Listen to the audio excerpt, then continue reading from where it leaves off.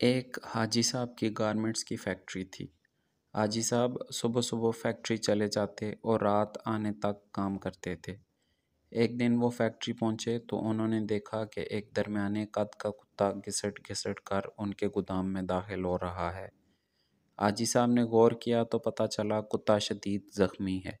शायद वो किसी गाड़ी के नीचे आ गया था, जिसके बायस उसकी तीन टांगें टूट गई थीं।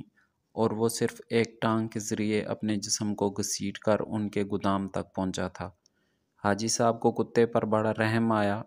उन्होंने सोचा, वो कुत्ते को जानवरों के किसी डॉक्टर के पास ले जाते हैं। उसका इलाज कराते हैं और जब कुत्ता ठीक हो जाएगा तो वो उसे गली में छोड़ देंगे। हाजी साहब ने डॉक्टर से रबते के लिए फ़ोन उठाया, लेकिन नंबर मिलाने से कबल उनके दिल में एक अनोखा ख्याल आया और हाजी साहब ने फ़ोन वापस रख दिया। हाजी साहब ने सोचा, कुत्ता शदीद ज़ख्मी है, उसकी तीन टांगें टूट चुकी हैं। उसका जबड़ा ज़ख्मी है और पेट पर भी चोट का निशान है। चुनानचे कुत्ता रोज़ी रोटी का बंदोबस्त नहीं कर सकता। हाजी साहब ने सोचा, अब देखना यह है, कुदरत इस कुत्ते की खुराक का बंदोबस्त कैसे करती है। हाजी साहब ने मुशाहे का फ़ैसला किया और चुपचाप बैठ गए। वो कुत्ता सारा दिन गोदाम में बेहोश पड़ा रहा। शाम को जब अंधेरा फैलने लगा तो हाजी साहब ने देखा, उनकी फैक्ट्री के गेट के नीचे से एक दूसरा कुत्ता अंदर दाखिल हुआ। कुत्ते के मुँह में एक बोटी थी। कुत्ता छुपता छुपाता गोदाम तक पहुँचा। ज़ख्मी कुत्ते के करीब उसने पाँव से ज़ख्मी कुत्ते को जगाया और उस बोटी को उसके मुँह में दे दिया। ज़ख्मी कुत्ते का जबड़ा हरकत नहीं कर पा रहा था।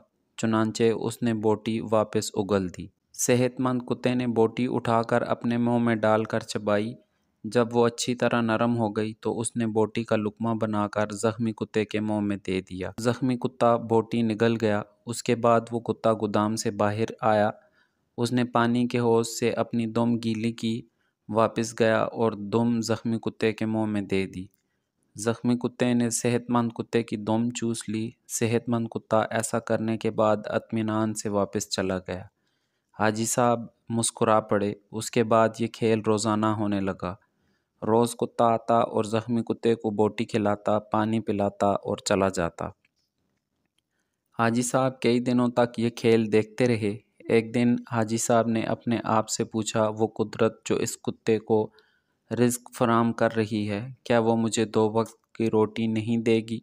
सवाल बहुत दिलचस्प था। हाजी साहब रात तक इस सवाल का जवाब तलाश करते रहे। यहाँ तक कि वो तवक्ल की हकीकत भांप गए। उन्होंने फैक्ट्री अपने भाई के हवाले की और तारिक दुनिया हो गए। वो महीने में तीस दिन रोज़े रखते और सुबह सादक से अगली सुबह काजब तक रुको सजूद करते। वो बरसों अल्लाह के दरबार में खड़े रहे। इस अरसे में अल्लाह उन्हें रिस्क भी देता रहा और उनकी दुआओं को कबूलियत भी। यहाँ तक कि वो सूफ़ी बाबा के नाम से मशहूर हो गए और लोग उनके पाँव की खाक तावीज़ बनाकर गले में डालने लगे।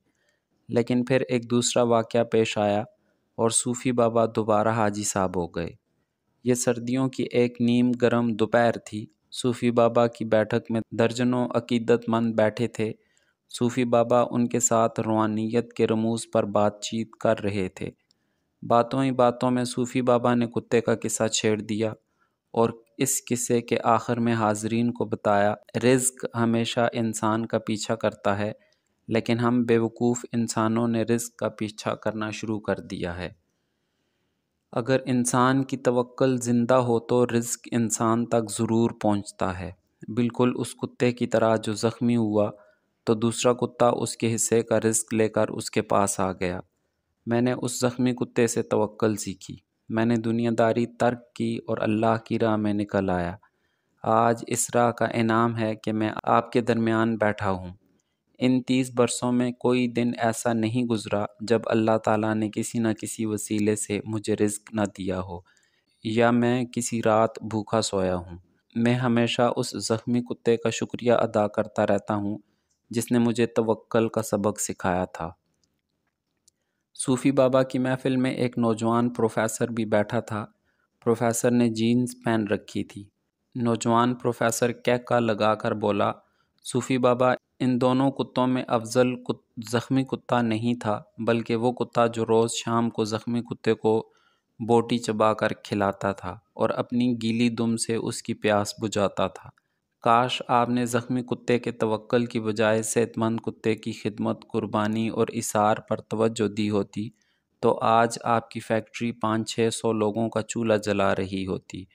सूफ़ी बाबा को पसीना आ गया। नौजवान प्रोफेसर बोला, सूफ़ी बाबा, ऊपर वाला हाथ नीचे वाले हाथ से अफजल होता है। वो सेहतमंद कुत्ता ऊपर वाला हाथ था, जबकि ज़ख्मी कुत्ता नीचे वाला। अफसोस, आपने नीचे वाला हाथ तो देख लिया, लेकिन आपको ऊपर वाला हाथ नज़र ना आया। मेरा ख़्याल है आपका ये सारा तसव्वुफ़ और सारा तवक्ल खुद गर्जी पर मबनी है, क्योंकि एक सखी बिजनेसमैन दस हज़ार नकम्मे और बेहुनर दरवेशों से बेहतर होता है। नौजवान उठा, उसने सलाम किया और बैठक से निकल गया। आजी साहब ने दो नफल पढ़े बैठक को ताला लगाया और फैक्ट्री खोल ली। अब वो इबादत भी करते हैं